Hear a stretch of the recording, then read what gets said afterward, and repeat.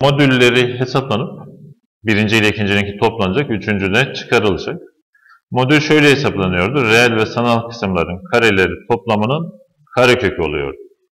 Şimdi Z2 karmaşık sayısı 5 olarak verilmiş. Biz bunun sanal kısmını göremiyoruz.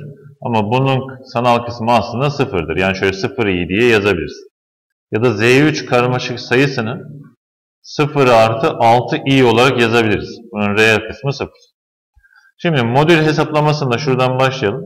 Z1'in modülü reel ve sanal kısımlarının kareleri toplamının karekökü olacak. Yani 3'ün karesi artı 4'ün karesinin karekökü artı Z2'nin modülü Z2'nin reel ve sanal kısımlarının kareleri toplamının karekökü olacak. Reel kısım 5, 5'in karesi, sanal kısım 0, 0'ın karesi ve karekök.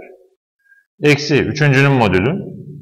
Üçüncünün reel kısmı 0, sanal kısmı 6, karelerini toplayacağız.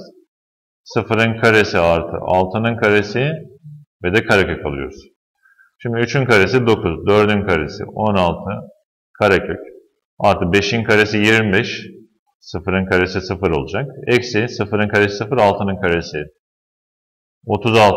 Şurası 25 yapar, 5 diye çıkar. 25, 5 diye çıkacak. 36, 6, 6 diye çıkar. 5, 5, 10, 6 çıkarırsak 4. Yani bu işlemin, bütün işlemin sonucu 4 gelir.